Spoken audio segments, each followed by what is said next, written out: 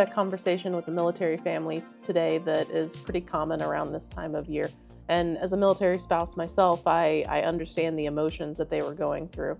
But basically, the gist of the conversation was oh, shoot, we have received our initial orders and we're going to move this year and we weren't prepared. They've only lived in their house for two years now. And the first thing that I had them do was pull their current mortgage balance uh, so we could look at you know, what would they net if they sold their home right now versus what would it look like if they kept their home as an investment property and rented it out? It's really empowering to have both of those numbers side by side and to understand what your options are. And it's just one of the things that I like to do with my military families so they can make a really informed decision on, you know, what they're going to